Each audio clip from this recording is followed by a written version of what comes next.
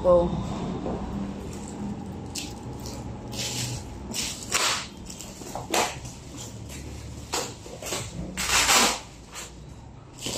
Ang kawawang kawawa yung gitara yun. Hindi man lang inayos yung pagkalit eh.